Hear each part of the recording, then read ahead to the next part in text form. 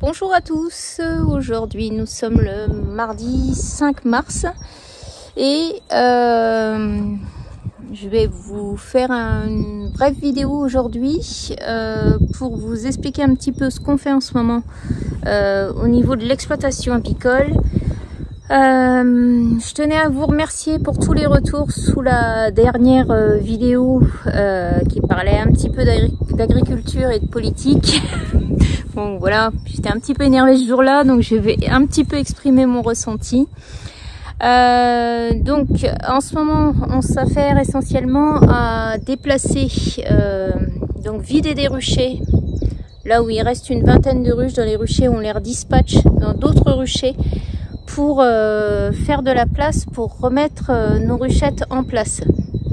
Alors, euh, j'avais une personne qui m'avait posé une question à ce sujet-là. Je vais y répondre tout de suite puisqu'on est dans le sujet. Euh, je vais peut-être vous poser, parce que comme ça, ça m'évitera d'avoir mal au bras. Hop là. Voilà, voilà. Donc j'avais une question au sujet du déplacement des ruchettes. J'avais une personne qui me disait mais pourquoi euh, tu déplaces des ruches pour remettre des ruchettes à la place où tu viens de retirer tes ruches. Voilà. Donc en fait, euh, cette année, ce que j'essaye de faire, c'est que je vais essayer, entre guillemets, de faire une euh, station de fécondation dirigée. Donc je vous explique.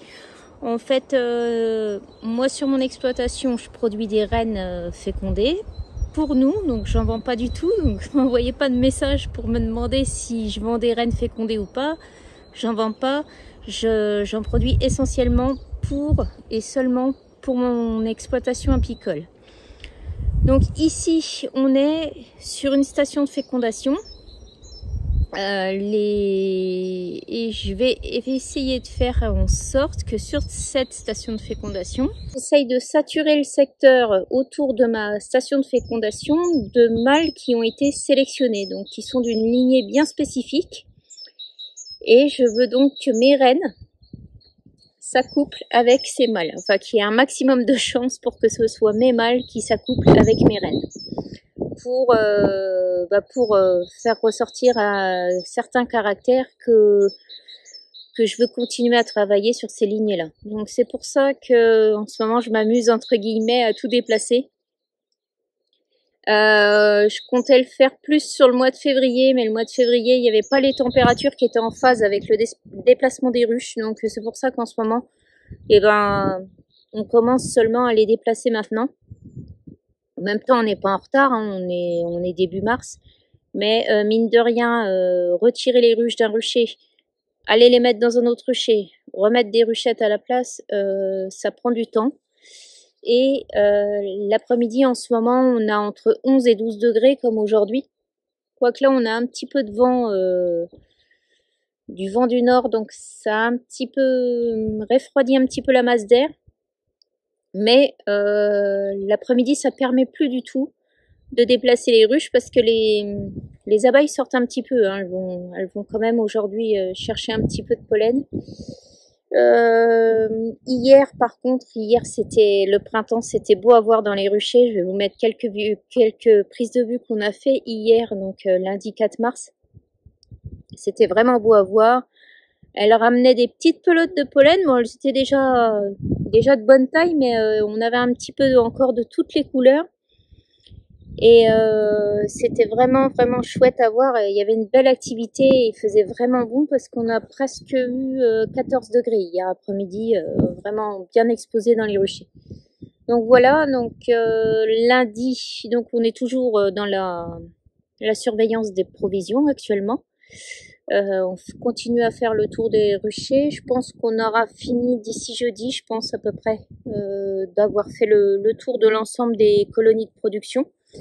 Et puis là aujourd'hui, euh, bah, je fais le, tour des mini plus. Donc je l'ai fait la dernière fois, je crois que je l'ai fait le 19 février, donc il y a une quinzaine de jours à peu près. J'ai pris la grosse aussi avec moi. son petit surnom, c'est enfin son vrai nom c'est Peps. Voilà, c'est une épagnole breton et elle aura 5 ans au mois d'avril. Et euh, bah bien souvent, elle vient avec nous quand euh, c'est pas trop dangereux pour elle. Euh, genre, euh, bah, quand on débroussaille les ruchers, on la prend pas avec nous parce que elle aurait vite fait peut-être venir. elle est, quand on est autour des ruches, généralement, elle est, pas avec nous parce qu'elle a un peu les pétoches des, abeilles. Les abeilles et elle, c'est pas trop son, sa tasse de thé. Et donc généralement quand on débroussaille ou, ou qu'on n'a pas le véhicule approprié pour la prendre parce que la boue, la pluie, le chien dans la cabine, euh, ça occasionne pas mal de nettoyage quand même. Donc voilà, donc j'ai pris le chien avec moi et je voulais en venir que donc je fais le tour des stations de fécondation, donc de tout ce qui est euh, des mini plus en ce moment, parce qu'on va bientôt prélever les rennes. Je pense qu'on va faire ça d'ici 15 jours, 3 semaines. Enfin, je croise les doigts parce que bon là, niveau météo, sur 10 à 15 jours, on nous annonce quand même un, beau début de printemps, hein. avec des après-midi à 13-14 degrés, donc euh, les abeilles peuvent sortir. Elles peuvent commencer euh, peut-être à récolter un petit peu de, nectar au niveau des saules marceaux. Donc ça va les booster un petit peu et bah, ça va permettre aussi de de plus être derrière sur surveiller les, les provisions. Donc euh, là, je jette un coup d'œil vite fait. On va regarder une paire ensemble. Et puis, euh, puis voilà pour, euh, pour aujourd'hui. Euh, ce matin, on a continué donc à déplacer nos ruches. Euh, je vous fais quelques petites prises de vue ici. Euh, donc là, c'est Vincent qui est carrément venu nous aider parce qu'on a des ruchers, mais déjà en pente. Et puis hyper gras. Nous ici, on a une, une terre qui est facilement argileuse. Donc une fois que les crans du 4x4 sont pris de, debout, euh, bah, ça devient, les pneus deviennent des savonnettes, ça glisse de partout et après on est bloqué dans le rucher et on n'a plus qu'à appeler l'agriculteur du coin pour qu'il vienne nous aider à, à nous dépatouiller euh, de toute cette bouffe. Donc on a pris la remorque euh, accrochée au masset et puis euh, Théo nous suivait avec le 4x4 derrière. Et puis on se rendait sur les ruchers pour aller chercher nos chercher nos ruches. Euh. En fait, euh, j'ai aussi un, un, rucher de fécondation avec des, des ruches de production euh, qu'on essaie de remplir tous les ans. Donc à l'intérieur, on fait des essaims hivernés. Enfin, on fait des essaims à partir du mois de mai qu'on laisse se développer. Donc bien souvent, bah, si l'été s'y prête, on leur pose une hausse quand même. Et puis euh, donc on les hiverne. Et ensuite, ces, ces essaims qu'on aura produits donc en, mai-juin 2023 euh, vont être dispatchés dans les ruchers qu'on veut remplir ou que l'on veut compléter. Voilà. Donc ça répondait à la question de la personne qui m'avait euh, posé cette question-là euh, hier ou avant-hier, je ne sais plus très bien. Et ce qui explique qu'on fait pas mal de mouvements de ruche en ce moment bah pour, euh, pour, nos, pour nos futures reines, pour qu'elles soient fécondées avec, euh, on l'espère, les mâles que nous, on a élevés, qu'on va élever, enfin que les reines vont produire là courant de cette saison. Voilà, donc en gros, ce qu'on fait cette semaine, donc là on est mardi, euh, je pense qu'on a encore facilement deux à trois jours de déplacement de ruchettes euh, et de déplacement de ruches. Il nous reste encore quelques ruches dans lesquelles il y a des essaims produits de l'an dernier. Et puis encore pas mal de ruchettes six à déplacer et à installer sur les ruchers qu'on a vidés la semaine dernière. Voilà c'est la principale activité de cette semaine. Ça nous prend pas mal de temps. Et puis euh, donc l'après-midi, bah, quand on a du temps comme ça, et je pense qu'on va avoir du temps assez assez bon à partir de jeudi et vendredi. On nous annonce 14 à 16 degrés l'après-midi. Donc là, je pense que les abeilles, elles vont elles vont se lâcher sur les saules marceaux ce qui est très bien parce que comme ça, elle ramène euh, du pollen pour les, futures larves et c'est un très bon pollen pour, euh, pour les colonies. Voilà, donc euh, en gros, en gros, ce qu'on va faire cette semaine. Là, vous voyez, quand je vous dis que mon chien n'aime pas trop les, aime pas trop les abeilles, je sais pas si vous allez le voir là. Mais en gros, elle est, elle est tout au bout là-haut. Je sais pas si vous la verrez dans l'herbe. Et Quand elle voit que il y a deux trois abeilles qui commencent à voler, elle se dit ouais ouais ben c'est bon. Je vais encore me faire choper. Donc euh, Céline est bien gentille avec ses abeilles, mais je vais l'attendre à l'autre bout du rucher. Voilà. Et généralement, elle passe son temps à, à nous attendre tranquillement. Elle se barre pas, donc c'est déjà un avantage. On n'est pas obligé de, de regarder où se trouve le chien. Donc, euh, je vais vous faire euh, deux trois prises de vue sur les mini plus pour euh, vous expliquer un petit peu comment je surveille les, les provisions. Euh, une chose qu'on a fait aussi, c'est que les Wagner, alors nous, moi j'appelle ça des Wagner, en fait c'est les hauts sept doigts. Euh, J'ai fait des des petites, bah des, j'ai fait féconder des rennes dans dans des hauts sept l'année dernière.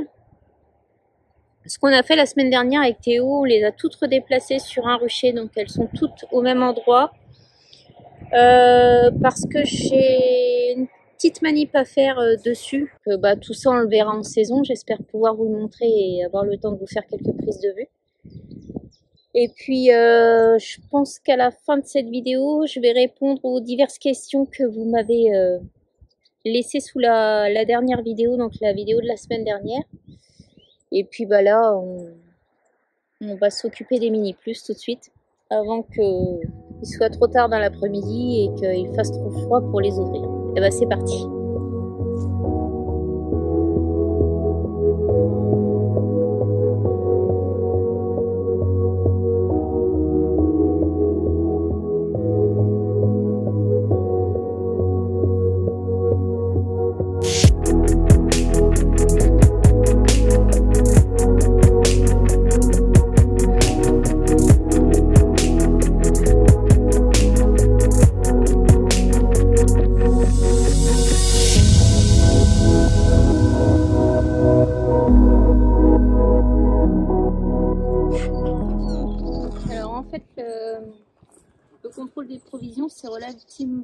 Relativement vite fait. Euh, je vais vous montrer, j'ouvre juste. Je regarde s'il reste au moins deux cadrons de, miel au fond de la mini plus.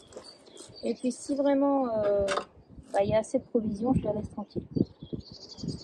Si on a un cadron de, provisions et vraiment plus que ça et que la colonie est vraiment très grosse, là généralement, je mets un quart de de candy. Et c'est largement suffisant, généralement un quart euh, pour euh, tenir euh, 15 jours. Et puis en ce moment, bah, c'est un petit peu ce qu'on voudrait que ça tienne.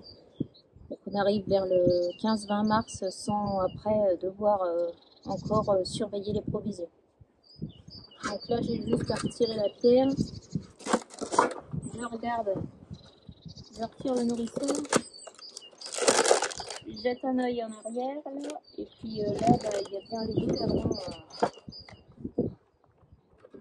les deux cadrans de provisions qui sont à l'arrière. Et il n'y a pas besoin de compléter. Et je vais vous montrer ça d'un petit peu plus près pour que ça soit un petit peu plus parlant pour vous. Alors, je vais rebaisser la caméra pour que vous voyez ce qui se passe quand même au niveau de la mini plus qui se trouve là. Donc j'ai juste à ouvrir. Je sais pas vous voyez là. Et je contrôle s'il y a des réserves à l'arrière. Et là, sur celle-ci, comme elle est relativement grosse, bah, je vais en fumer quand même copieusement. Parce que comme il y a des abeilles sur les cadres de réserve, euh, ça ne me dit pas du tout s'il faut que je complète ou pas. Donc celle-ci, elle est encore relativement assez lourde. Je vais vous montrer un peu plus près. Ici, là, on voit bien qu'il y a encore plein de provisions ici et plein de provisions ici. Et là, la colonie, elle, elle est par ici. Donc elle est là, hein, il y a bien des abeilles dedans. Qui se tient sur euh, quatre cadrans à peu près. Donc on la dérange pas plus que ça. Je vais refermer euh, le nourrisseur là vite fait et puis euh, celle-ci je la complète pas. Donc je repose le nourrisseur comme ceci. Donc il y a le là il y a le, nourrisseur qui se trouve ici. le toit de la Mini Plus et le toit tolé par-dessus. Donc le toit tolé, évidemment, eh ben, c'est pour mon fameux pivert qui adore me cartonner mes, mes toits de, Mini Plus. Donc du coup, ben, j'ai investi dans des, des toits tolés pour Mini Plus et là, depuis, euh, je suis plus embêtée.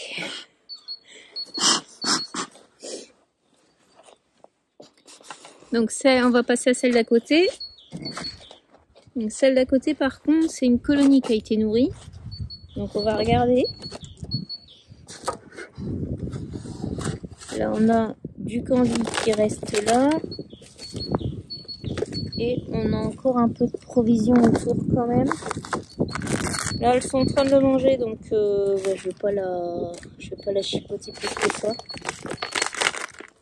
Je vais peut-être donner un petit coup de fumée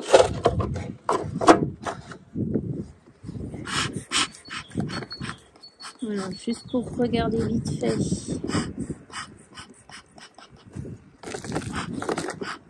Mais apparemment, j'ai peut-être même nourri peut-être un petit peu large sur celle-ci, donc euh, je pense que je vais lui laisser son candidat.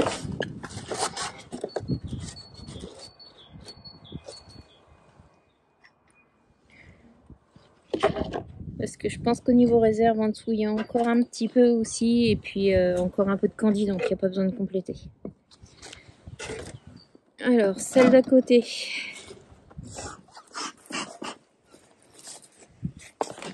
On va faire? Tout le portoir. Hop.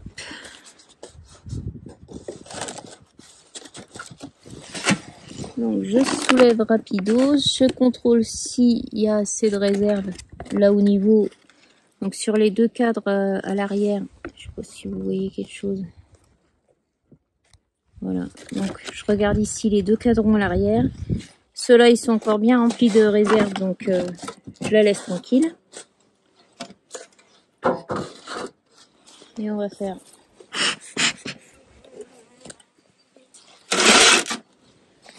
une petite dernière ensemble. Voilà, je pense que là c'est bon.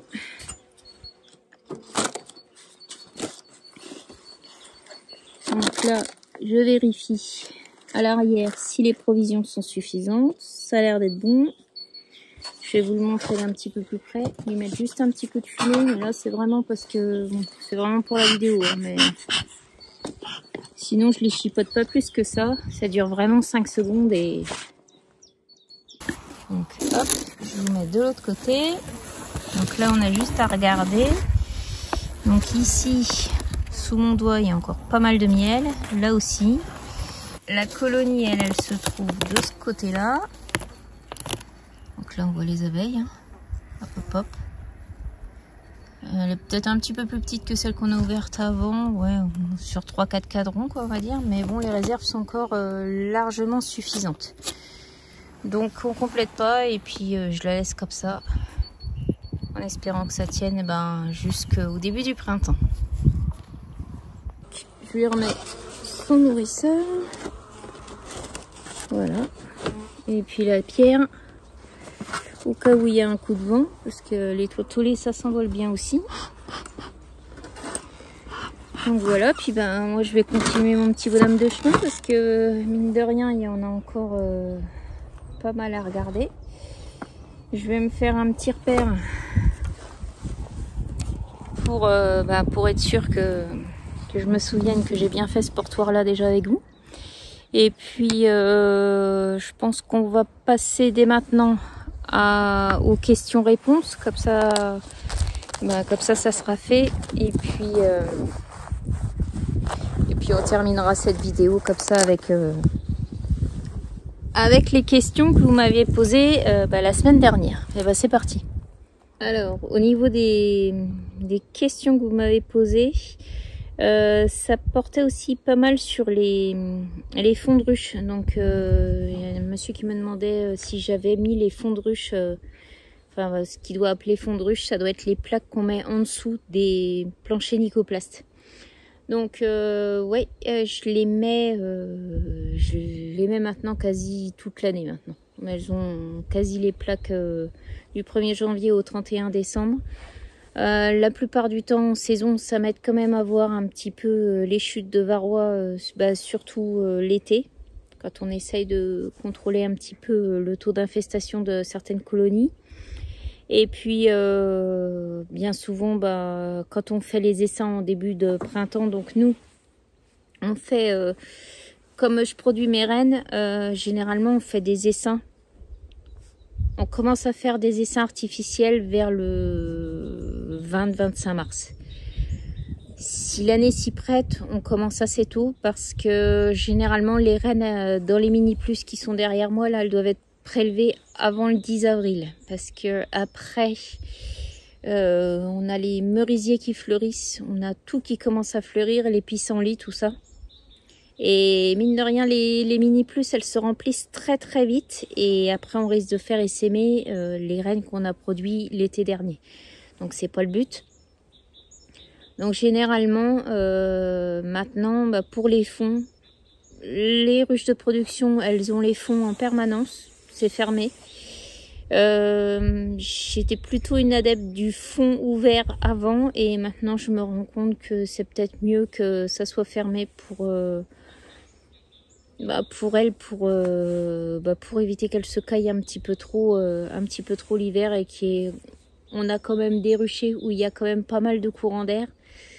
On fait notre mieux pour les placer au mieux, qu'elles soient au soleil, qu'elles aient pas trop de vent, mais bon, euh, des fois on n'a pas trop le choix, donc maintenant elles ont des plaques systématiques, ou alors ce qu'on fait aussi, c'est que si vraiment je rachète des planchers, je les prends entièrement fermés il y a juste une, aération sur l'arrière euh, du plancher plastique. Voilà. Donc j'espère que ça aura répondu à votre question. Euh, oui, et également, bah, là, dans les dernières vidéos, vous avez vu que j'ai aussi des ruches en plastique.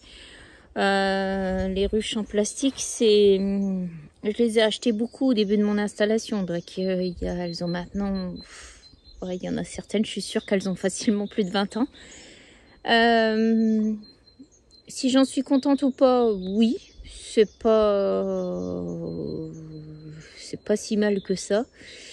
Après, euh, avec l'âge faisant, on va dire, euh, je préfère les, ruches en bois que les ruches en plastique. Je trouve que le développement il est pas le même. Et puis dans la ruche en plastique, le petit inconvénient, c'est vraiment un tout petit inconvénient. Je trouve que c'est un petit peu trop short au niveau euh, de l'espacement des cadres. Dans une ruche en bois, j'ai l'impression qu'il y, a quelques millimètres en plus qui font la différence. Et quand vous faites une visite, euh, une visite de printemps ou une visite en saison pour euh, contrôler le couvain ou quoi que ce soit, eh ben, je trouve qu'il y a plus d'espace pour travailler. C'est un petit peu plus agréable que la ruche en plastique je trouve que les dimensions sont vraiment, euh, il manque quelques millimètres quoi. C'est voilà. Et puis euh, après euh, au niveau développement, je vois pas de différence. Franchement, entre les ruches en plastique et les ruches bois, je vois pas de différence. Les ruches en plastique, elles auraient tendance plus à se, à se développer plus vite en début de printemps. Si les colonies sont bien exposées, qu'elles captent le soleil dans le rucher, euh, ça a tendance à, sortir un petit peu plus vite euh, pour travailler euh, au lieu des ruches en bois. Bon voilà. Après, je vois nous on transhume beaucoup sur la luzerne. On a des ruchers sur la luzerne. Bon bah c'est pas comme ici, c'est un peu la plaine, la plaine agricole quoi en fait. On n'a pas trop d'arbres et les ruches en plastique sur des emplacements où c'est en plein cagnard qui fait 35 degrés, euh, si vous avez une belle colonie, elle arrive à, tempérer l'excès de température, euh, bah, elle, arrive à faire en sorte que les quatre de rive ne fondent pas. Euh, si vous avez une petite colonie et qu'elle se trouve en plein soleil, en plein cagnard sur la luzerne ou même dans un rucher quand il fait très chaud l'été, bah, les cires, les cires de rive, elles ont tendance à se gondoler, voire à fondre. Hein. Donc euh, vous voyez un peu le type de température qui doit, qui doit y avoir dans une ruche en plastique en plein soleil. Je pense que c'est pas trop étudié les ruches en plastique pour euh, les gens qui sont dans le sud ou alors euh, qui transhument comme nous en plein, en plein sur les luzernes quand il fait facilement plus de 30 degrés l'été. Mais après, si vraiment je vous dis, vous avez une colonie qui est assez forte, il n'y a pas de raison que les cires, que les cires fondent sur le côté. Donc voilà, après, Niveau hivernage, c'est pareil. J'ai pas de, j'ai pas de problème d'hivernage avec les ruches en plastique. Bon après moi, euh, je suis en région Grand Est, mais on est dans la Marne, donc euh, on n'a pas des hivers de fou. Hein. Euh, là, on a eu du moins 8, ça a duré deux jours chez nous. Et après, on est plus bon ben franchement. L'hiver 2023-2024, c'est pas vraiment une référence en matière d'hiver parce que c'est l'hiver le plus doux qu'on ait jamais eu, je crois. Donc, euh, si on a eu du moins 2 euh, grand max le matin et puis euh, des après-midi à 5 degrés, voilà, ça c'est l'hiver en, en Champagne-Ardenne, quoi. Donc, bon, on n'a pas, on n'a pas trop froid, on va dire. Donc, l'hivernage se passe pas trop mal. Après, si vous voulez vraiment bien isoler vos ruches, bah, vous mettez la plaque de fond pour ce qui est des ruches en plastique ou même des ruches en bois qui ont des planchers ventilés vous fermez les planchers l'hiver euh, à partir du, mois de novembre, on va dire, quand les températures elles commencent à, chuter un peu. Et puis euh, après, euh, au niveau isolation, ben, l'important c'est d'isoler aussi l'étage de la ruche. Donc mettre au moins un iso-ruche, le, papier aluminium bulle, comme je vous ai montré la semaine dernière. Et puis au moins un, un voire deux, quand je vois, euh, quand j'ai suivi la formation avec euh, Damien Méry sur l'isolation des, ruches, euh, lui conseille plutôt deux épaisseurs de coussin, environ 4 cm de coussin sous le toit. je pense que c'est pas totalement faux. un, c'est bien. Deux, deux, je pense qu'au niveau chaleur, ça serait pas plus mal. Ah, voilà. Après ça, sur l'isolation des ruches, tout ça, euh, on y reviendra. Mais si vous voulez vraiment... Euh, eh ben, si vous voulez vraiment gagner en qualité d'isolation de vos ruches, je vous conseille vivement de, lire le livre de Damien Méry. À chaque fois, je me trompe, mais j'oublie toujours une personne dedans. Au niveau des noms, je suis pas, suis pas une pige. Damien Méry, c'est sûr, je l'ai vu en formation. Il y a monsieur, bah, monsieur Marc Guillemin qui est décédé il y a quelques années et avec qui euh, Damien Méry a écrit euh, le livre. Et il y a une troisième personne, et à chaque fois je l'oublie, je suis vraiment désolée, donc je vous la mettrai en bas de l'écran, qui a écrit euh, aussi ce livre-là en collaboration avec Damien Méry. Et c'est sur la ruche basse consommation. Donc là, on vous explique tout ce que vous pouvez faire pour que vos abeilles euh, soient comme dans un palace, qu'elles euh, subissent ni la chaleur ni le froid. Voilà. Donc, euh, et puis, je vous mettrai peut-être une image du bouquin où je vous montrerai, je vous montrerai le livre en photo si jamais vous voulez l'acheter. Franchement, c'est un bon investissement pour un, livre qui parle d'apiculture et d'isolation des ruches. Voilà. Euh, donc j'ai répondu pour le plateau euh, et après il y avait le, nettoyage des ruches en plastique donc euh, pour nettoyer tout ce qui est déjection propolis et il y a un monsieur qui me dit qu'il les change tous les ans c'est très compliqué euh, honnêtement moi la ruche en plastique tant qu'elle est pas morte euh, je la nettoie pas sauf un coup la tête des cadres pour que ça soit plus facile à manipuler en début de saison mais sinon, je vais pas transvaser euh, ma ruche dans une ruche propre pour euh, pouvoir la renettoyer le corps de ruche qui est, crade. Euh, et au niveau du nettoyage des ruches en plastique, bah, le seul moyen est vraiment qui est top, bah, c'est le karcher eau chaude. Là, vous décollez toute la propolis et vraiment, c'est, pour moi, c'est l'outil principal pour nettoyer les ruches en plastique. Après, je mets pas d'eau de javel. Euh, non, tout ça, euh, franchement, je mets plus. Euh, du moment que vous n'avez pas de loc dans vos ruches, franchement, pourquoi désinfecter à fond? Moi, bon, je suis peut-être pas trop maniaque de ce côté-là, mais elles sont moins relavées, la propolis grattée, je dis pas qu'elles sont comme neuves, mais presque. Mais je mets pas de produits désinfectants dans les ruches, c'est Franchement, si on n'a pas de loc, pourquoi se, pourquoi nettoyer à fond comme ça Moi, j'en vois pas trop l'intérêt, quoi. voilà. Donc Karcher à eau chaude pour les ruches, les corps de ruches en plastique.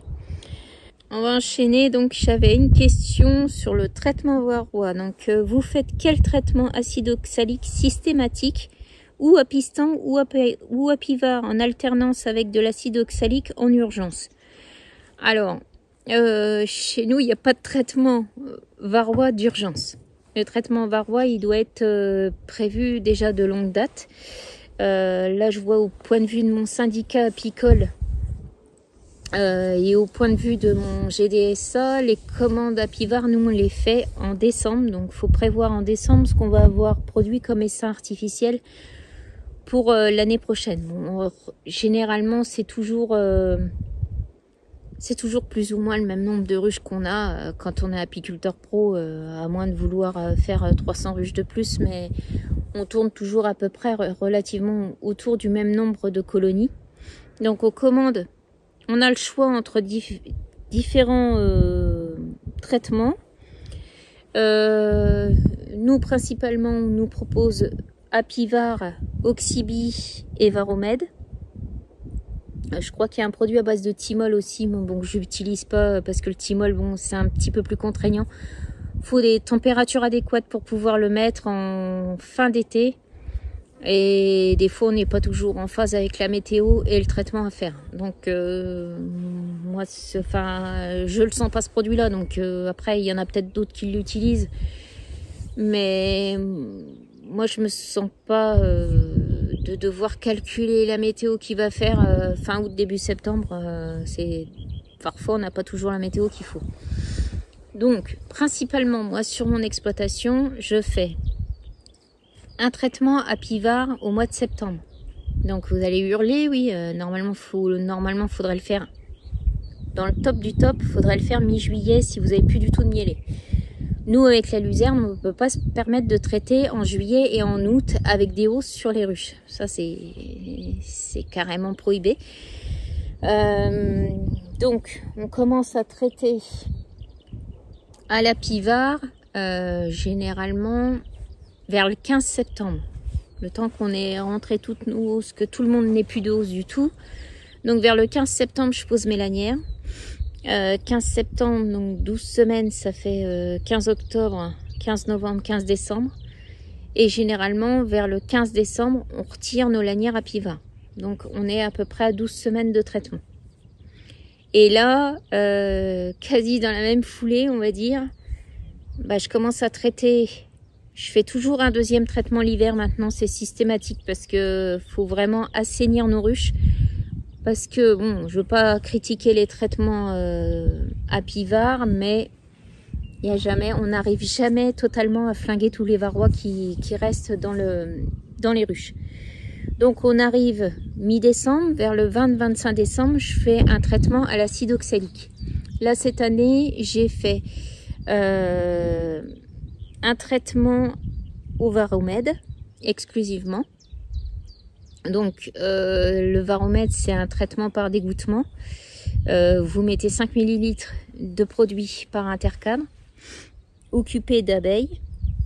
Et donc, euh, bah, généralement, faut le faire entre une température de 8-10 degrés, de façon à ce que la grappe ne soit pas totalement resserrée pour que vous ne mettiez pas le produit entre les, entre les cadres, là où il y a des abeilles, et que le produit, en fait, il, coule sur le, dos des abeilles et qu'il rentre pas dans la grappe.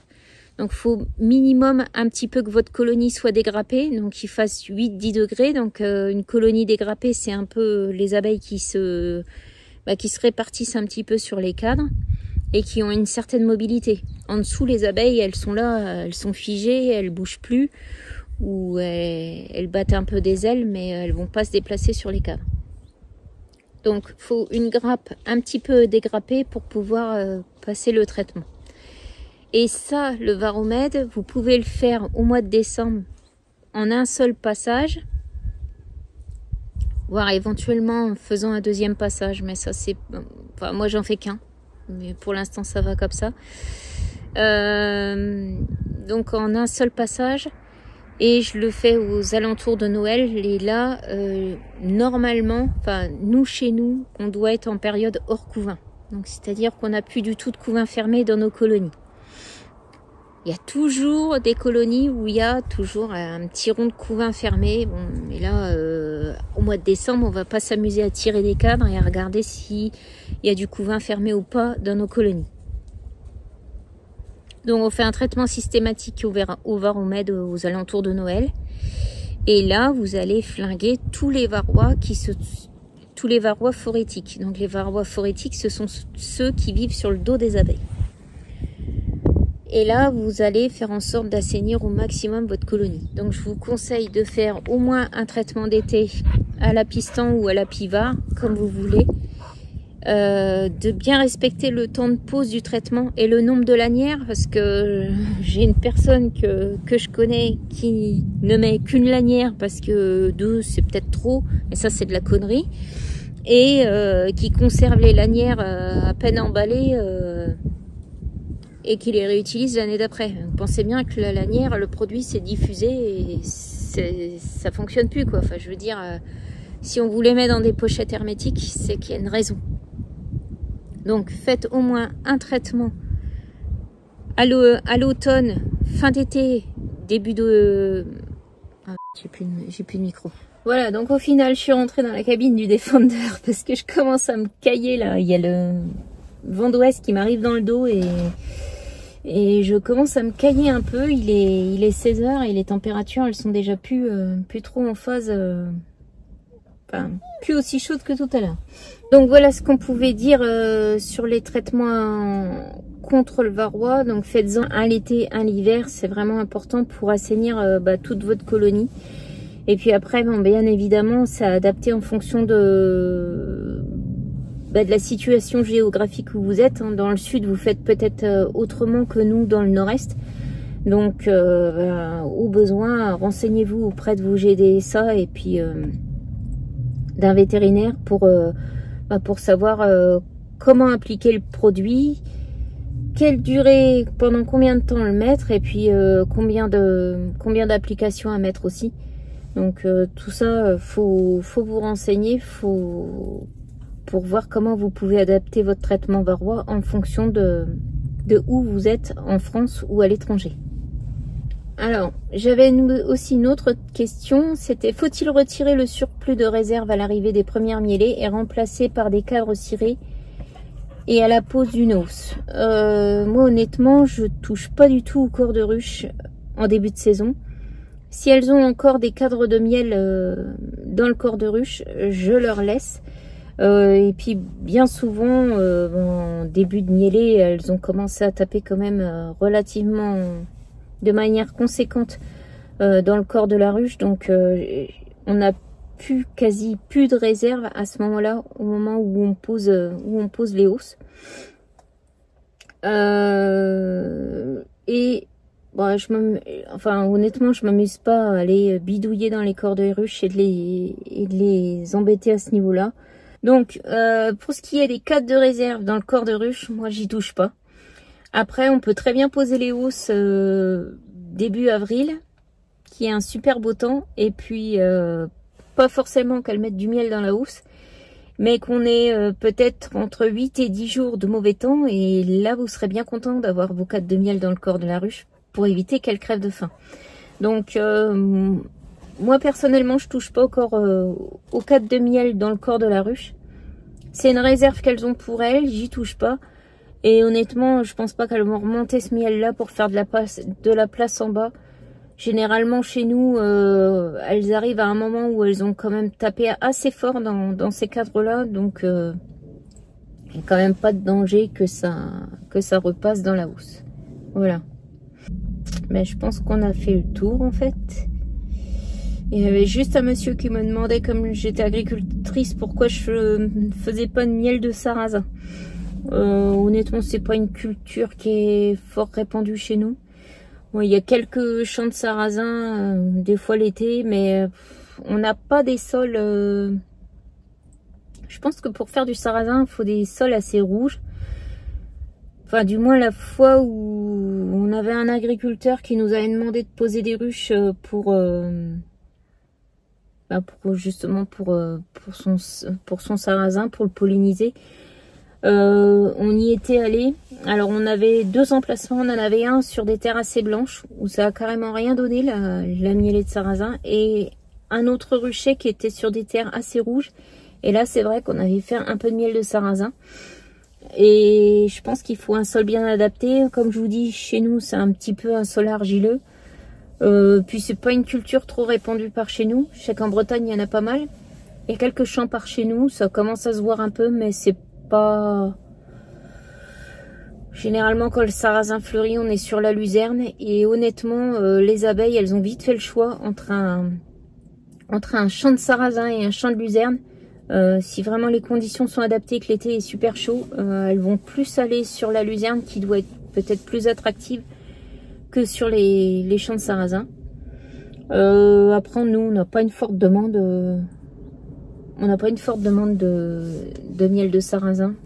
Quelquefois on en fait, mais euh, non, c'est pas pas une culture euh, très répandue par chez nous.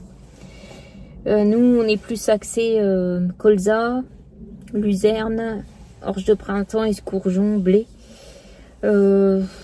Voilà, après quelques champs de facélie, des fois on arrive à encore en voir l'été. Mais du sarrasin, ça reste encore assez, assez peu répandu. Et ben voilà, je pense qu'on a répondu à, toutes les questions. Euh, pense que ça fait quand même un, sacré bout de temps au niveau des, réponses. Vous m'excuserez, mais de vous répondre, ça prend un peu de temps. Et je pense que c'est essentiel, surtout sur euh, ben, tout ce qui est... Euh, tout ce qui est surveillance des provisions et puis des traitements varois. Euh, voilà, je pense que la vidéo arrive à son terme. J'espère qu'elle vous aura plu. N'hésitez pas à vous abonner et à me mettre un petit pouce, ça peut aider. Et puis je vous souhaite une bonne soirée ou une bonne journée en fonction du moment où vous regardez cette vidéo. Et je vous dis à bientôt. Ciao